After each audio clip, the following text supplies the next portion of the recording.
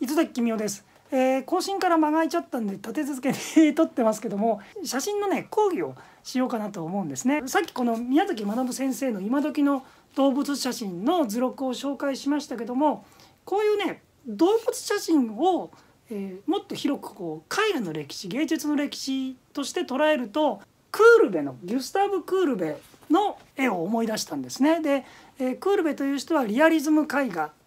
人ですけどもこの図録の中にこういうね動物の絵があるんですよね。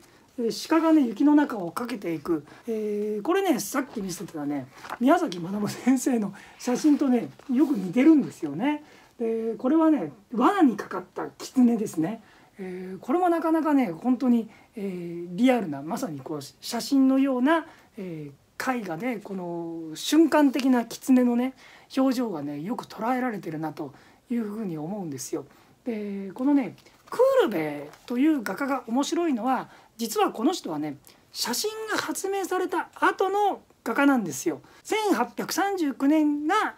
写真の発明の年と言われてるんですね。つまり、えー、ダゲールがダゲレオタイプというものをフランス政府を通じて世界的に発表したと大々的に発表したとそういうところから写真の歴史が始まるんですけども例えばこの狐の絵ですねこれがね1860年に描かれているので写真が発明されてしばらく経った後なんですよねそれそれに描かれたと。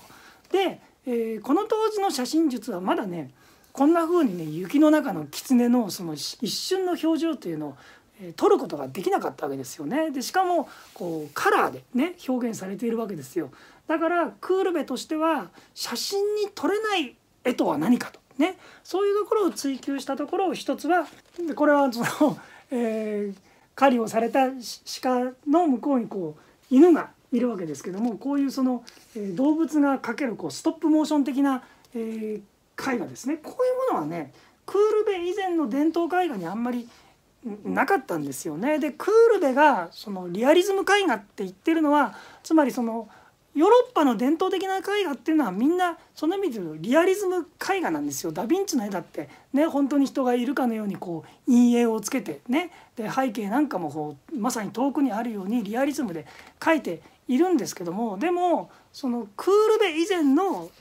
ヨーロッパ絵画っていうのはまさにその聖書の場面であるとか歴史的な場面であるとかそういう意味で言うとねあんまりこのリアルじゃなかったとね。でクールベのリアリズム絵画っていうのはそのそれまで画家が題材にしてこなかったようなものを何でも描いてやろうと。ね。目に見えるリアルなものは何でも描いてやろうというところで野生動物にもその目を向けたわけですよね。で野生動物に目を向けるとそのやっぱりねちゃんと観察しないとこういうものは描けないわけですよね。だから画家がまさにこう自分自身がカメラになり変わってで、えー、高速シャッターになり変わってこういう絵を描くわけですよね。でそのうちカメラの技術が発達してで本当に写真でこういうものが撮れるようになってきたと。ね、でそうは言ってもその、まあ、普通にそのシャッターをただ押すだけじゃ撮れないようなものを撮ろうとしてるわけですね。これはだから鹿の、えー死体ですねでそれのその内臓をね引きちぎって食べてるクマですけどもこういうものもね普通には撮れないですよね。でこういうふうに普通に撮れない写真を撮るというのはその今までね、えー、画家が描いてこなかったものを描くんだとそういうところにね通じるものがあるんですね。だからまあそういうふうにしてこ こういうもんですね。こういうもんですね。こうやって並べるとねなんかね違和感ないなって思うんですけどね。このようにして、えー、絵画の歴史写真の歴史というものがつながっていると。ね。そういうところでねこの宮崎学先生の、まあ、宮崎さんだけではないですけどね。やっぱり動物写真家の正当性というのはねあるんじゃないのかなというふうに思うんですね。写真というものを